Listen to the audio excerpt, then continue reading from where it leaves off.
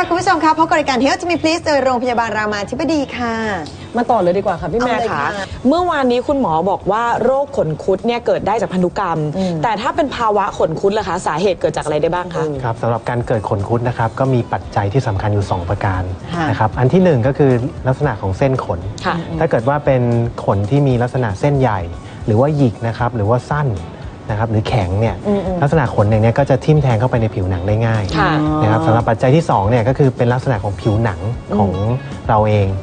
อ่าถ้าเป็นตำแหน่งของผิวหนังบริเวณข้อพับนะครับบริเวณที่มีการเสียดสีหรือมีการกดทับ บริเวณเหล่านี้จะเกิดขนคุดได้ง่ายกว่าปกติ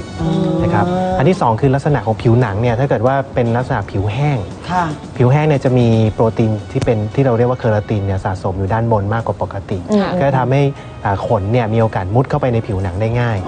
นะครับนอกจากนี้นะในช่วงที่มีอุณหภูมิ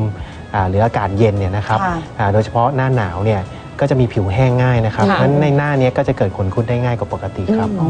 เพราะฉะนั้นคือโกนถอนมันก็จะทำให้คุดนี้ไหมคะ ใช่ครับอ่าการโกนการถอนเนี่ยถ้าเราทำผิดวิธีนะครับ ก็จะมีโอกาสส่งเสริมให้เกิดภาวะขนคุดได้ง่ายขึ้น การโกนที่ผิดวิธีเนี่ยอ่าผมยกตัวอย่างที่เรานิยมกันคือการโกนสวนทางเส้นขน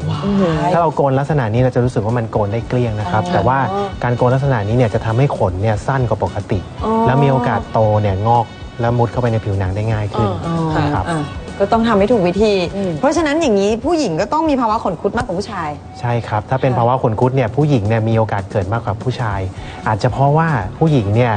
อ่ามักจะแว็กซ์ขนหรือว่าโกนขนบ่อยกว่า เออใช่ แต่ถ้าเกิดพูดถึงโรคขนคุดนะครับ ค่ะ จะเจอได้พอๆกันนะครับทั้งสองเพศอ๋ออย่างนั้นสบายแล้วค่ะพี่แม่ยังไงคะอืมไม่ต้องถอนไม่ต้องโกนไม่ต้องแว็กค่ะปล่อยยาวค่ะปล่อยเซอร์อ่าสบายเลยค่ะโอ้ตายอุรังอุตังแล้วค่ะคุณจะดีเหรอคะขับเดียวค่ะให้เรียบร้อยมูแยกไม่ออกระหว่างผมกับคนแล้วค่ะค่ะ เอาเป็นว่าวันพรุ่งนี้มารอฟังคุณหมออธิบายเรื่องขนคุดกันต่อแล้วกันนะครับ